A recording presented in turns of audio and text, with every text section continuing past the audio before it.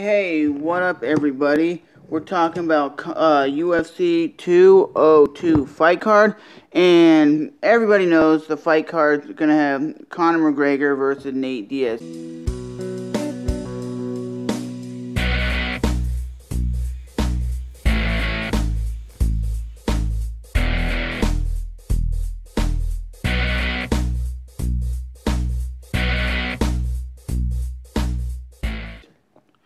And that's the fight that everybody's tuning into for.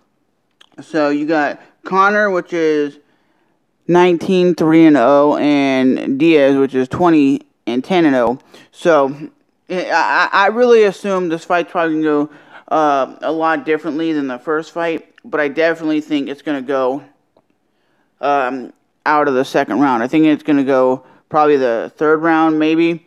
And I think Diaz will probably still win because he's a bigger, stronger guy.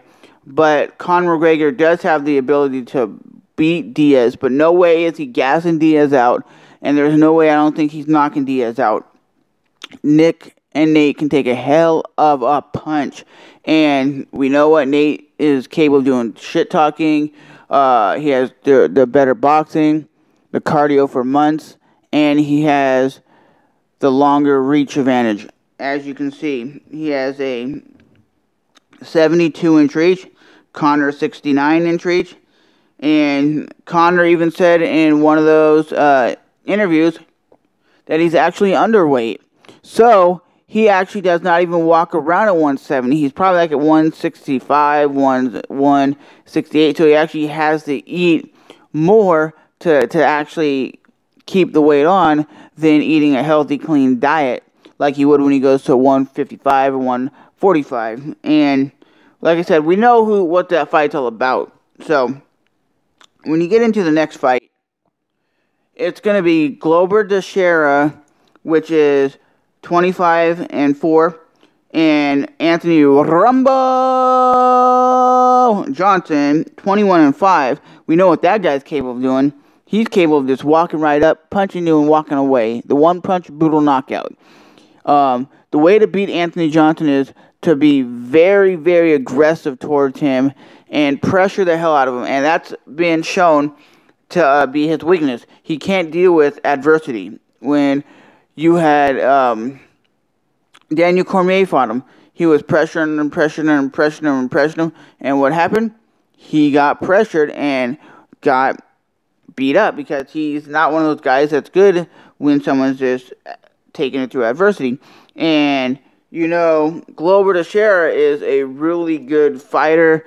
Really likes to stand in the pocket and stand and bang. I'm going for Anthony Rumble Johnson on that fight. Then you got Rick Story, which was at one point one of the baddest men on the planet at 170 pounds. At 19 and 8 versus Donald Cowboy Cerrone, which is 30 and 7. And Donald Cerrone in this fight is having a longer reach advantage. Um, Donald Cerrone has looked really great at 170. I think he's making a run for the title. I think he's one of the baddest men on the planet. He's one of those guys who comes to fight every time he comes in, and he does not back down. And his uh, jiu-jitsu skills are uh, phenomenal. Everybody knows him for his boxing and for his stand-up game. But nah, this dude has extremely, extremely good grappling. And that's pretty much the only fight I'm really uh, looking forward to. Because if you look at the uh, rest of the fight card, it's like really, really stacked all that, all that uh, well. At least for my mind, it's not one of the most stacked cards. So the third fight on the fight card, like I said, and then the co-main event and main event are what people are tuning. Um, but I definitely think Donald Cerrone is the better fighter and has been showing he is a bigger, stronger fighter.